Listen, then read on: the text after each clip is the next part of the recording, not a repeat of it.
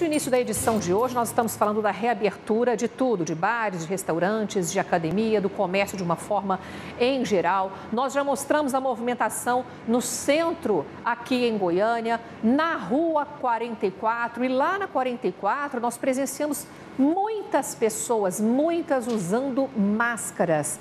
Será que elas estão realmente conscientes, estão temerosas com esse risco de contaminação?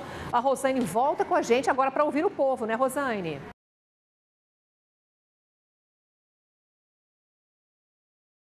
Exatamente, Luciano, como você disse, né, em meio a essa aglomeração toda, nós também presenciamos aí a maioria, grande maioria, sim, utilizando máscara, um caso ou outro. E eu conversei com as pessoas e elas falam sim da preocupação delas. Pedi para o Elito mostrar aqui para a gente, aqui me acompanhar aqui nessa fala. O senhor se preocupa aí com o uso da máscara? Não, até porque é, é acessível para a gente usar e é essencial para todo mundo, né? E isso está mostrando que é uma. Não deixa a máscara em casa, sempre usar. De jeito nenhum. E é uma forma de como a gente está se prevenindo e é da melhor maneira é, é fazendo a parte da gente, cada um fazendo a sua parte, não é isso? Que bom, né? Um cuidando do outro, isso é muito importante. E olha só, eu quero mostrar para vocês de casa também as medidas de segurança que estão sendo adotadas em shoppings, galerias aqui da 44.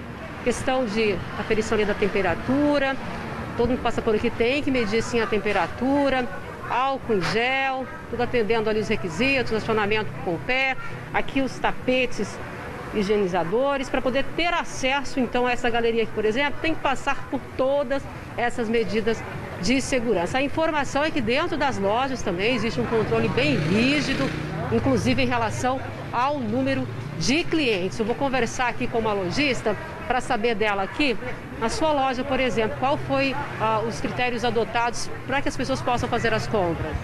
Nós disponibilizamos álcool 70 para higienização das mãos dos nossos clientes. Também pedimos para uso de máscaras. Atendemos no máximo duas pessoas por vez. O que você observa em relação à recepção dessas pessoas, desses clientes, é, quanto a essas medidas de segurança sanitária? As pessoas estão aderindo? Estão aderindo. Somente na hora que a gente pede que só quem vai comprar, os acompanhantes, fiquem, aguardem de fora. Às vezes tem uma resistência ou outra, mas a maioria, todo mundo está entendendo. Você percebe essa preocupação? Percebo. Como é que vocês estão vendo essa volta? Estamos com a expectativa alta, estamos de braços abertos para recepcionar nossos clientes. Conscientes de que todo mundo tem que fazer sua parte, né? Com certeza. Cada um fazendo sua parte, a gente vai conseguir passar por isso. Muito obrigada, então. Então, eu Volto aí com vocês, Luciana, Lucílio. Ok, Rosane, muitíssimo obrigada pela sua participação. A coisa parece estar bem organizada, né? Sim. As pessoas conscientes usando máscara, ali logo na entrada, medição da temperatura, o álcool gel do pedal, para que a pessoa nem toque.